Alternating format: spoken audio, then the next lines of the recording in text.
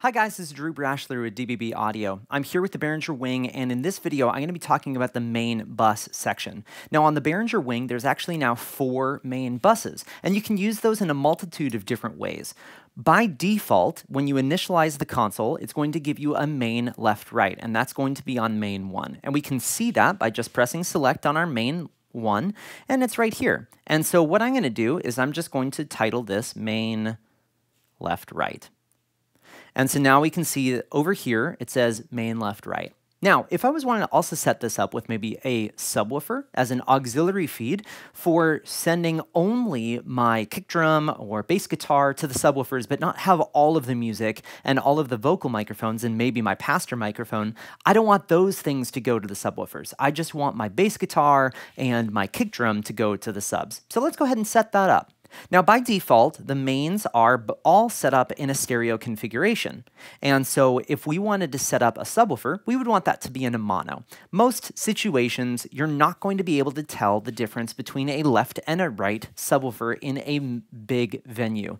All of them are going to act as one subwoofer. So let's just make our lives simpler and make it a mono setup. So I'm going to select main 2, and I'm going to go to the next tab down, and I'm going to click this mono button.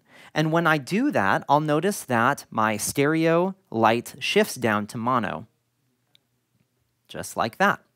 Now that I have this set up in mono, let's go ahead and name this. So I'm going to go back to home, give it an icon, and give it a name of sub. Z. I like to call them subs because I typically have more than one. All right, so now we have our main left right and our subwoofer. Now, first thing I want to do is make sure to turn this up to unity gain as when I push volume, I'm wanting to hear it in the main PA. So let's go ahead and see how we route our channels into those main buses.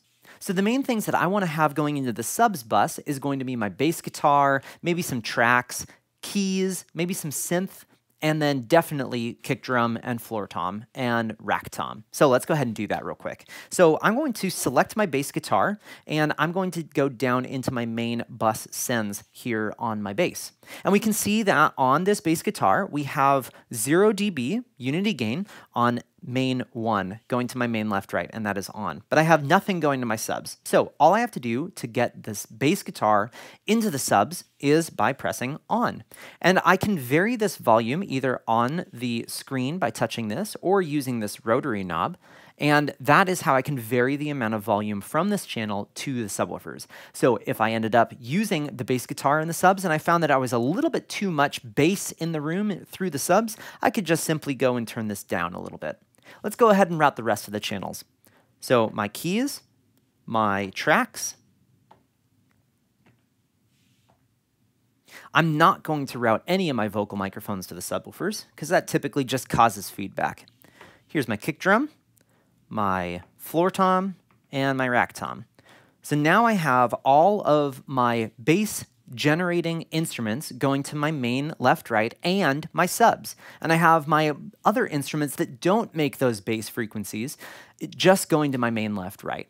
Now, I will typically use a console that has multiple main buses in a way where I send all of the music down one bus and all of the vocals down the other bus. And then I can actually compress those differently so that I can always make the vocals come a little bit out on top of the band. And then I'll use what's called a matrix to then group those two things together, sum them together, and send them out to all the different destinations. And I'm going to cover that in my matrix video that's coming up soon.